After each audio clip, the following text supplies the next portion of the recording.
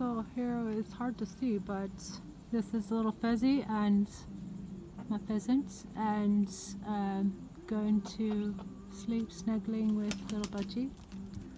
And here we have Maya, and fortunately um, Rocky's come back to her um, resting position here, so I can I can pet her through the fence.